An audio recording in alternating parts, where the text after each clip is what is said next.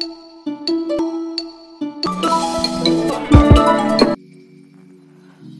Friends आज हम आपको बताएँगे कि आप Realme C twenty five model में किस तरीके से आप सेंसर प्रॉब्लम को दूर कर सकते हैं।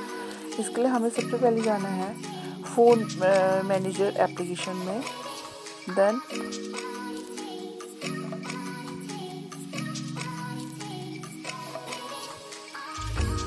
तरीके से फ़ोन मैनेजर एप्लीकेशन में आप जाएँगे तो फिर आप स्क्रॉल करेंगे तो आपको सबसे पहले यहाँ पर नीचे टूल्स ऑप्शन शो करेगा। देखिए फ़ोन मैनेजर के बगल में टूल्स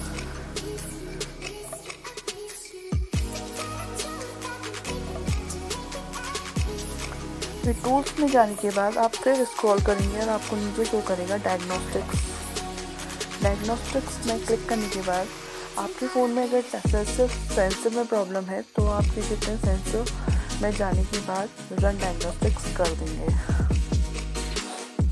रन डायग्नोस्टिक्स करने के बाद इस तरीके से आपको शो करेगा प्रॉक्सिमिटी सेंसर अब आपके फ़ोन में तो ग्रेविटी सेंसर में प्रॉब्लम आई है तो आप प्रॉक्सिमिटी सेंसर को आप चेंज कर देंगे, फिर लाइट सेंसर को आप लाइट इंटेंसिटी का आप चेक करेंगे कि किस तरीके से आपका वैल्यू चेंज होती है।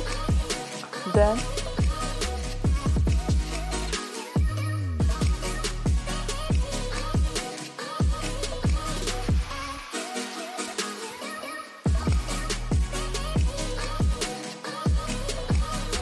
इस तरीके से आप हमारी वैल्यू और लाइट इंटेंसिटी की चीज़ हो रही है इस तरीके से हम place the phone horizontally with the screen facing up इस पोजीशन में अपना फ़ोन रख के डन कर लेंगे एंड चेक करेंगे कि अब हमारी सेंसर में प्रॉब्लम है या नहीं है। तो नो एबनॉर्मल आइटम्स सर दोनों सेंसर अभी बिल्कुल फ्री है बिल्कुल सही है। तो इस तरीके से आप अपनी सेंसर की प्रॉब्लम को दूर कर सकते हैं।